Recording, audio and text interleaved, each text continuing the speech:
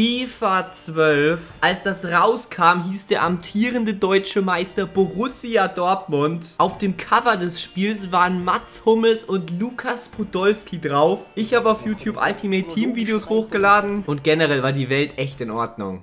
Und ich finde allein das hier ist echt nice gemacht. Und damit Servus oder so. Herzlich willkommen zu einer neuen Runde Retro FIFA. Dieses Mal in FIFA 12 und alleine dieses Menü, ne? Ich finde, das sieht schon gar nicht so verkehrt aus. Man kann hier auch direkt in die Trainingsarena gehen mit so ein paar Animationen. Es gab damals auch so mehrere Trainingsarenen, die dann unterschiedlich aussahen. Ich habe da so viel Zeit immer drin verbracht. Finde ich schon ein bisschen schade, dass es das in der Form in den neueren FIFA-Teilen nicht mehr gibt. Euch fällt vielleicht auf, dass ich da gerade mich selbst steuere und bei Crystal Palace spiele. Und das liegt tatsächlich daran, dass ich auch einfach noch mein uraltes Profil laden konnte. Das heißt, es sind hier tatsächlich auch noch meine ganzen alten Karrieremodus-Spielstände mit drin. Unter anderem der hier bei Crystal Palace. Und den habe ich tatsächlich auf YouTube damals gezockt. Ich glaube noch auf meinem älteren Kanal. Aber ihr könnt ja mal gerne danach suchen auf YouTube. Vielleicht findet ihr es. Wenn wir jetzt aufs Datum 8. 2012 haben wir tatsächlich auch nur nur eine Saison hier gespielt. Trotzdem finde ich es wahnsinnig interessant, mal in die Mannschaft reinzuschauen. Während ihr am besten jetzt mal einen Daumen reinhaut auf das Video. Im Tor ist ja irgend so ein Speroni, dann kommt Cicinho. Der war, glaube ich, ein Ultimate-Team richtig geil. Deswegen habe ich den hier geholt. Forza, ich glaube, der war mal bei Hoffenheim, oder? 90 Stärke, nicht der allerlangsamste. Win mit 96 Antritt und 96 Sprintgeschwindigkeit als Innenverteidiger. Absolut krass. Klein war, glaube ich, von Haus aus bei Crystal Palace, ist dann später zu Liverpool gegangen. Moritz Leitner war noch ein richtig, richtig krasses Talent. 19 Jahre, dann haben wir einen gewissen Dyer, der ist, glaube ich, auch sauschnell. Jancha. Auch damals habe ich schon voll viele Spiele auf eure Vorschläge hingeholt. Bin aber gespannt, ob irgendjemand dieses Video anschaut, der damals auch dabei war. Wilfried Zaha war damals noch 19 Jahre alt, spielt in echt immer noch bei Crystal Palace. Dann haben wir irgend so einen Quintero. Hans Sapai ist natürlich auf der Bank. Malangu, Redmond, Taylor, über den KSI damals ein ganzes Video gemacht hat. Rude Boy!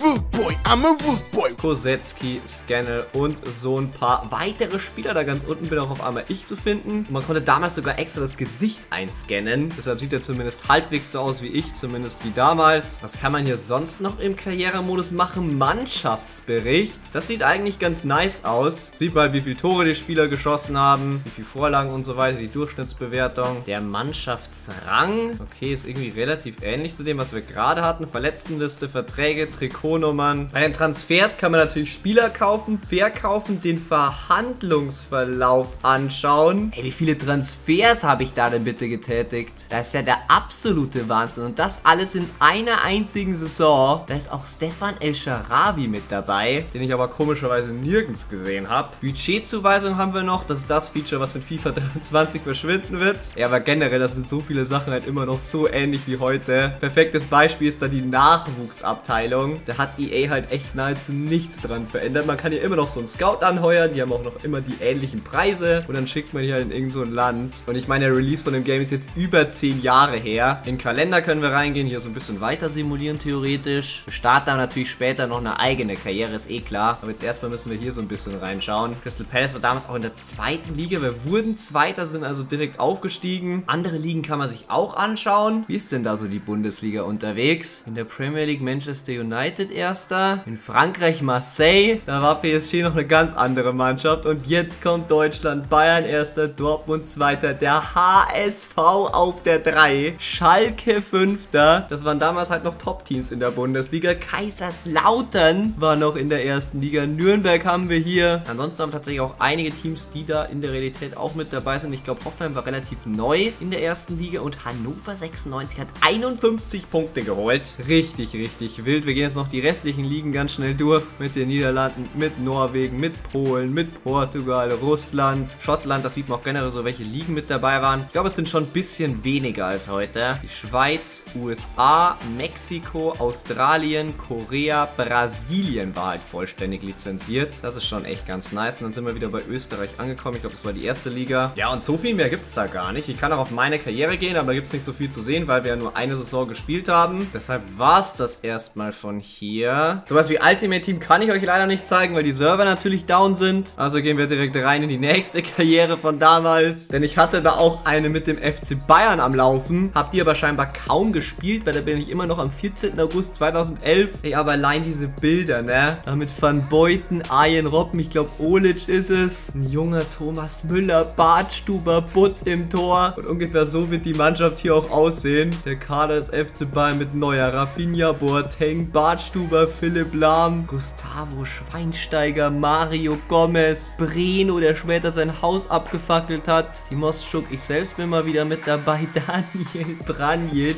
Was ist das für eine Mannschaft? Ich glaube, den habe ich aber dazu geholt. Also so ein paar Transfers sind natürlich dann schon mit am Start. Usami, Alaba war noch richtig, richtig jung. 19 Jahre alt. Contento. Den habe wahrscheinlich dann wieder ich geholt. Taylor musste irgendwie immer verpflichtet werden. Oh, das sorgt dafür, dass ich mir die ganzen anderen Bundesliga-Teams jetzt auch anschauen will. Normalerweise, wenn ich hier auf Spieler kaufen gehe, dann soll ich die doch irgendwie suchen können. Ja, genau. Man kann ja die Liga einstellen. Da gehen wir auf die Bundesliga und fangen mal bei Kaiserslautern an. Was kommen jetzt bitte für Legenden? Okay, der beste Spieler bei denen, Christian Tiffer. Dann kommt Kevin Trapp, Schächter, Sippel, Jimonek. Aber so von den Gesamtstärken her sieht man schon, warum die jetzt nicht so gut unterwegs waren in der ersten Liga. Aber immerhin waren sie mit dabei. Weiter geht's dann mit dem ersten FC Köln. Lukas Podolski hat eine 84 und ist mit Abstand der beste Spieler bei denen im Team. Wen haben wir sonst so? Freis, Christian Clemens. Also sind schon echt viele Namen dabei, die einem was sagen. Aber jetzt so spontan hätte ich die niemals von mir aus aufzählen können, die ganzen Spieler. Timmy Simmons, Raphael Schäfer, was eine Nürnberger Legende. Vorhin auch Pinola, eine Riesenlegende. Wollscheid war, glaube ich, ein richtig krasses Talent so zu der Zeit. Da dachte man echt, aus dem könnte was werden. Aber nein, hat man dann nichts mehr gehört von ihm. Keine Ahnung, was der genau gemacht hat. Wir machen weiter mit Mainz. Kakao war bei Mainz, der war doch immer nur bei Stuttgart, oder? Also es sind ja auch hier ein bisschen in der Zeit vorangeschritten. Also es könnte sein, dass der ein oder andere Spieler gewechselt ist. Aber ich glaube nicht, dass Kakao mal bei Mainz war. Aber vielleicht täusche ich mich auch. Dann schreibt es gerne in die Kommentare rein. Maxim Choupo-Moting, 22 Jahre alt, 70er Gesamtstärke. Ich glaube, Carlos war dann auch noch ganz am Schluss. Wir haben hier Hoffenheim. Juan ist ihr bester Spieler. Dann kommt Obasi. Arne Friedrich. Also wie gesagt, da sind mit Sicherheit ein paar Transfers getätigt. Roberto Firmino, 19 Jahre alt, eine 75er Gesamtstärke. Ibišević, Sigurdsson, Sebastian Rudi. Was ist das für eine Frisur, bitte, Kollege? Tobias Weiß, Edson Bravheit, Bayern-Legende. Knowledge Musona, okay. Sven Schiplock, Dominik Kaiser und so ein paar Talente, die jetzt aber auch gar nicht mehr so jung sind. Bayer Leverkusen mit René Adler, 85. Der war, glaube ich, beim FIFA-Teil davor auf dem Cover. Dann haben wir Simon Rolfes, Michael Ballack mit 34 Jahren, André Apfelschürle, Marco Marin, der aber doch nie bei Leverkusen war, oder? Der war doch immer nur bei Bremen in der Bundesliga, aber auch da wahrscheinlich halt einfach transferiert worden im Laufe dieser Karriere. Es soll ja vorkommen, deshalb wundert euch nicht, wenn da jetzt nicht alles zu 100% stimmt. Karim Bellarabi hat da, glaube ich, ein Braunschweig-Trikot an, oder? Ist auf alle Fälle relativ neu da bei Leverkusen wahrscheinlich mit 21 Jahren und einer 67er Gesamtstärke. Borussia Dortmund, wie gesagt, amtierender Meister damals. Und Götze hat mit 19 Jahren eine 85. Also der war halt das geisterkrankeste Talent. Man dachte echt, das ist der nächste Lionel Messi. Und ich glaube, wir machen nachher dann auch noch eine Karriere mit Dortmund. Also starten natürlich unsere eigene. Aber jetzt erstmal muss ich hier die ganzen Spieler durchschauen. Bleibt mir ja gar nichts anderes übrig. Wir haben Schmelzer, wir haben Pisscheck, wir haben Sidan, wir haben Felipe Santana, wir haben Patrick Obomoyela. Das ist hier echt eine Legende nach der anderen. Also zumindest so aus Dortmund-Sicht auf alle Fälle. So was den ganzen oberen Bereich hier angeht. Borussia Mönchengladbach, wer da so gespielt? Marco Reus noch. Mit 22 Jahren Dante, Igor de Camargo, Marc André Ter Stegen, Arango, Stranzl, Raoul Bobadilla, der dann später bei Augsburg, glaube ich, noch richtig, richtig stark war. Brauers, Heimero, Torben, Marx, Janschke schon mit dabei, aber halt noch richtig, richtig jung gewesen. Wir haben Patrick Herrmann mit 20 Jahren. Wir haben Armin Juns mit 18. Das ist schon krass, wie viele Spieler da auch teilweise so zu sehen sind, die dann noch richtig jung waren, die in echt dann schon eigentlich auch eine ganz ordentliche Karriere hingelegt haben. Aber gut, irgendwoher müssen die Spieler herkommen. Wir haben Jentsch hier bei Augsburg als besten Spieler. Also Augsburg jetzt schon auch nicht ganz so gut, muss man ganz ehrlich sagen. Das ist eine verhältnismäßig ziemlich, ziemlich schlechte Mannschaft, wenn man es so mit dem Rest vergleicht, was wir da jetzt so gesehen haben. Das war der FCA. Dann kommt Schalke. Damals mit Jefferson Verfahren, Klaas-Jan Hünteler und Raoul. Senior Raoul mit 34 Jahren, aber der war trotzdem so gut, ne? Also diese Offensive, das sind solche Flashbacks jetzt für Schalke-Fans. Benny Hövedes, Luis Holtby, Christoph Metzelder, Jones, Stones, Fuchs, Papadopoulos, Alexander Baumjohann, der glaube ich vorher noch beim FC Bayern war. Ralf Fährmann ist 22 Jahre alt. Martip ist hier mit 20. Julian Draxler mit 17. Ey, es ist so wild, diese Kadern. Es macht so Bock, die einfach durchzuschauen. Und ich hoffe, ihr habt da genauso viel Freude und ich langweile euch jetzt nicht. Aber ich finde, es ist mit das Nice, dass da einfach so die alten Teams hier durchzugehen. Wir sehen da Markus Berg, wir sehen Heung-Min Son beim HSV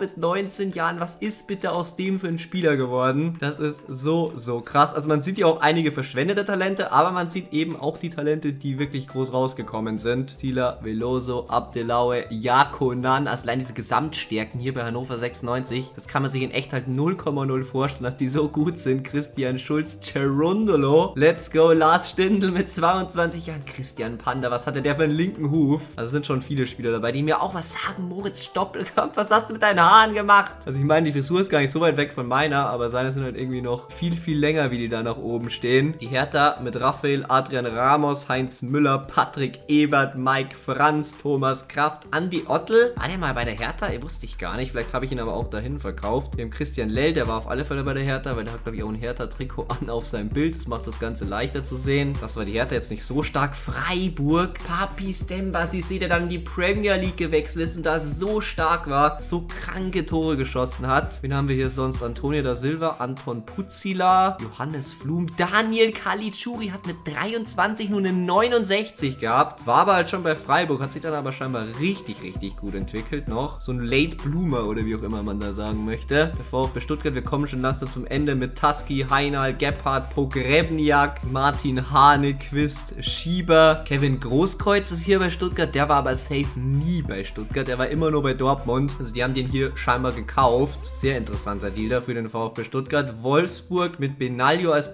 besten Spieler. Alexander Klepp. Mario Mandzukic mit 25 Jahren. Wir haben Helmes, Tresch, Schäfer, Thomas Hitzelsberger. Der war auch gar nicht so gut. Ne, Hassan Salihamidzic, Brazzo höchstpersönlich mit 34 Jahren und einer 74er Gesamtstärke beim VfL Wolfsburg. Den haben wir hier sonst noch. Kennt man da irgendjemanden? Sebastian Polter. Den kennt man tatsächlich. Mittlerweile Spieler bei Schalke in der ersten Liga. Werder Bremen, Tim Wiese. Ey, wie gut Bremen damals auch war. Mit Claudio Pizarro, mit Naldo. Gut, so ihre Top-Zeiten, die von Bremen waren da schon auch vorbei. Das darf man jetzt auch nicht falsch einschätzen. Marco Arnautovic, Ekici, Clemens Fritz, Bartfriede Rosenberg. Diese ganzen Namen, ne? es ist so nice. Sandro Wagner darf man nicht übersehen. Felix Groß, der Bruder von Toni Groß. Und ja, ich kann jetzt hier nicht jeden Namen aufzählen. Ne? Wir sind wieder am Anfang angekommen. Es ist so krass, wie viele Spieler da dabei sind, an die ich mich noch so krass erinnern kann. Aber das ist halt auch mit so das Nice, habe ich vorhin schon gesagt, wenn man so alte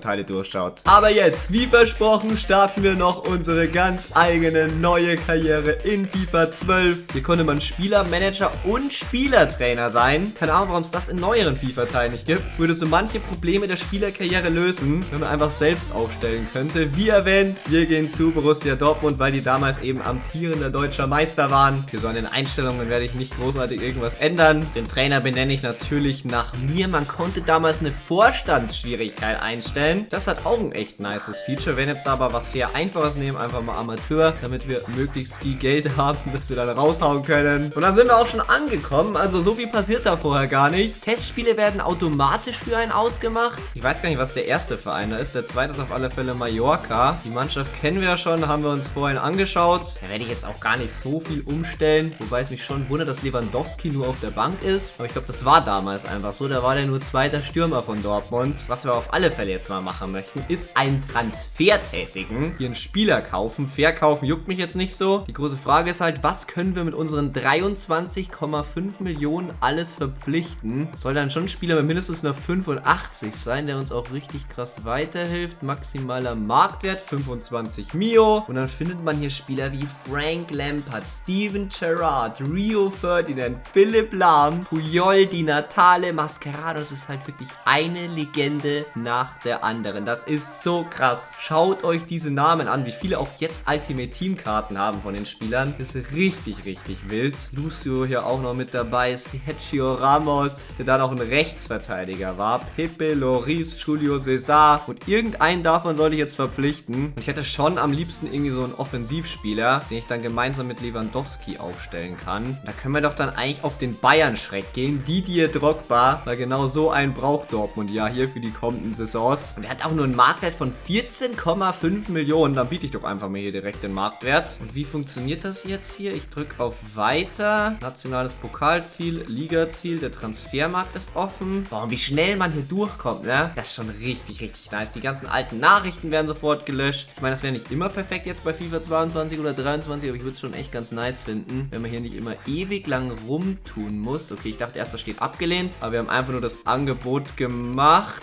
Ja, jetzt steht abgelehnt da. Das war ihm zu wenig. Steht da irgendein Grund dabei? In seinem aktuellen Verein ist er ein Star. Dieser Wechsel passt ihm nicht. Ja, ist mir doch egal. Ich erinnere mich noch daran, man muss nur die Torprämie hochschrauben. Und dann auf einmal will er wahrscheinlich doch zu mir und ist doch kein so großer Star mehr. Bei seinem Verein endet der Verhandlungen. Als ob Drogba jetzt zu Lazio gewechselt ist. Was ist das denn? Geht der bei ihm zu Lazio rum? Drogba sagt Borussia Dortmund ab. Boah, das tut natürlich weh. Jetzt müssen wir irgendeinen anderen Spieler holen. Okay, die Suche ist aber hier immer noch da. Und wie gesagt, Offensivspieler. Wie wäre es dann mit Antonio Di Natale? Der für sein Alter aber echt ganz schön viel Geld kostet. Aber gut, hauen wir raus. Juckt uns ja eh nicht. Und dann hoffen wir mal, dass wir den Kollegen bekommen. Angebot abgelehnt, zu niedrig. Dann machen wir da eben ein bisschen mehr draus. Von mir aus 18,5. Wir haben es ja. Bevor die aber antworten, steht jetzt das erste Testspiel an, was wir natürlich simulieren werden. Bis vor kurzem war die Simulation halt auch noch genauso. Nur, dass man hier jetzt auch live mitverfolgen kann, was passiert. Muss halt schon sagen, die Simulation in FIFA 22 ist schon nochmal deutlich nicer. Das ist einfach Nizza oder was, der Verein. Da haben wir es nochmal ein ganz anderen Logo. Auch der Verein heißt ein bisschen anders. Wir überspringen das Ganze jetzt mal. Gewinn 2 zu 1 dank Kagawa, der in der 89.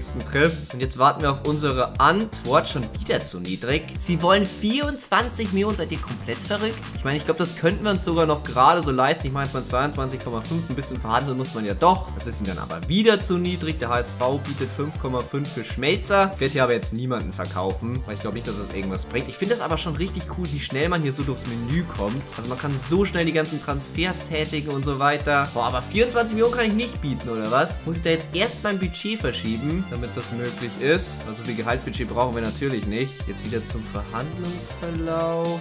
Transferangebot verbessern. Die wollten 24 Mio. Wir geben ihnen 24 Mio. Ich glaube, dann sagen die auch auf alle Fälle ja. Das nächste Angebot für Schmelzer. Nein. Die nächste simulierte Partie. Spielen wir 1 zu 1. Jawohl, und jetzt wird das Angebot akzeptiert. Jetzt lassen wir doch endlich mal einen Spieler verpflichten. Das ist echt nicht so einfach hier. 140.000. Da gehen wir rein. Was sagt die Natale dazu? Erstmal müssen wir wieder ein Angebot für Schmelzer ablehnen. Oh, und jetzt lehnt er das auch wieder ab. Das gibt's doch nicht. Er ist auch wieder ein Star. Und jetzt hoffe ich mal, dass dieses Mal nicht irgendwie Lazio daherkommt kommt und uns den nächsten Spieler vor der Nase wegschnappt. Drittes Testspiel ist, glaube ich, das letzte gegen Inter. Schaut euch die Mannschaft von Inter an. Das ist so eine Legendentruppe. 1 zu 1. Jawohl, und jetzt wird es endlich akzeptiert. Antonio Di Natale wechselt zu Borussia Dortmund. Neuer Spieler kommt. Die Frage ist, ist er jetzt direkt hier so im Kader? Kann ich den jetzt direkt aufstellen? Tatsächlich, da ist er mit seiner 86 mit eigentlich auch echt ganz guten Stats. Der kommt hier rein in die Mannschaft. Dann würde ich sagen, hm, irgendjemand muss ich jetzt hier doch rauswerfen.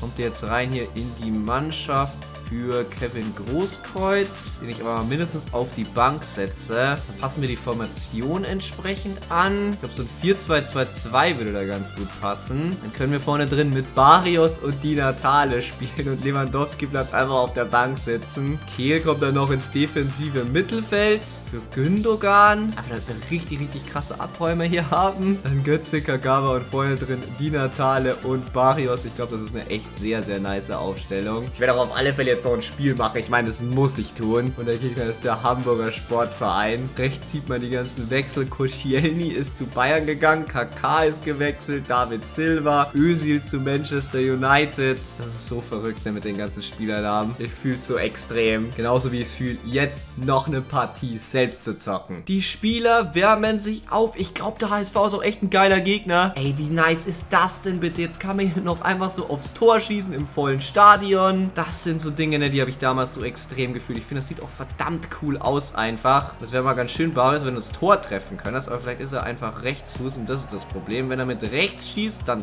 trifft er auch nicht. Ja gut, gehen wir einfach rein ins Spiel. Schauen uns an, wie das Ganze hier aussah. Bundesliga, wir sehen zuerst hier irgend so eine Rückblende. Borussia Dortmund, es war auf alle Fälle Götze zu keine Ahnung wem. Vielleicht Pisscheck oder so. Dann eine Szene für den HSV. Und jetzt geht das hier auseinander und wir sehen das Stadion, Signal Iduna Park. Der ist auch auch schon im Spiel drin gewesen. Da ist er, Antonio Di Natale, unsere Neuverpflichtung neben Mario Götze. Und ich finde, das sieht alles gar nicht so schlecht aus. Ich zocke jetzt auf dem PC, habe einfach mal die höchsten Grafikeinstellungen aktiviert. Und so gehen wir das Ganze an, die Startelfs. Und so müssen wir jetzt nicht mehr anschauen. Die kennen wir eigentlich schon ganz gut. Und damit gehen wir rein ins Gameplay. Das große Problem ist, dass die Steuerung halt schon ganz anders ist. Also so passen und so gar kein Problem. Aber Sprinten ist zum Beispiel auf einem anderen Knopf. Also erwartet hier jetzt kein krasses Gameplay. Schwierigkeit ist Profi. Also theoretisch soll es schon machbar sein. Mal schauen. Bis hierhin ist das eine reine Defensivschlacht für mich. Jetzt vielleicht mal ein Konter. Boah, was ist das für ein Steilpass von die Natal? Da sollte eigentlich eine ganz andere Lücke gespielt sein. Also es ist echt wild, wie gut der Computer verteidigt für das, dass das hier Schwierigkeit Profi sein soll. Ich will eigentlich schon unbedingt ein Tor schießen in diesem Video, aber die verteidigen das. Das ist so krass. Absolutes Bollwerk da beim HSV.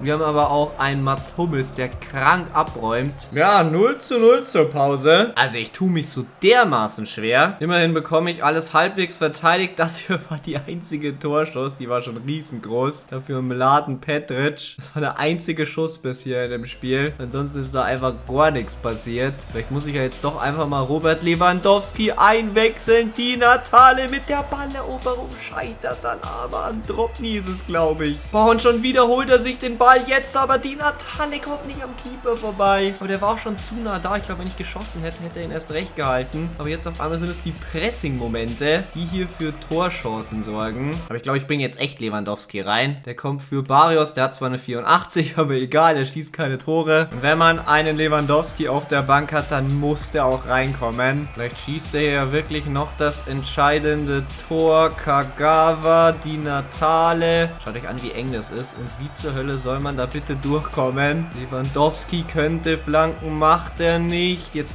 Hauptsache irgendwie in Ballbesitz bleiben. In den 16er passen. Was eine schlechte Annahme von Götze. Irgendwie holt er sich den nochmal zurück und dann spielt er einen grausamen Pass. So die einzigen Chancen, die ich mir rausgespielt habe, waren irgendwelche Balleroberungen, wo ich dann nicht mehr viel machen musste. Jetzt Götze läuft durchs Mittelfeld. Das sollte ein hoher Steilpass sein, den er da aber einfach in den Mann spielt. Jetzt sind wir schon in der 78. Minute. Ich glaube schon langsam echt nicht mehr dran, dass das hier was werden kann mit dem Tor. Lewandowski, das ist Götze. Der ist doch eigentlich schnell, aber gegen Dennis Aogo, der kommt da nicht durch. Und jetzt geht uns die Zeit aus. Männer, komm, irgendwie, nicht mit solchen Pässen. Aber wir holen ihn uns zurück. Das ist Götze. Aber es kann nicht sein, dass hier jetzt einfach gar kein Tor fällt. Ich will eigentlich schon sehen, wie das aussieht. Lewandowski geht vorbei. Bitte, Junge, jawohl, da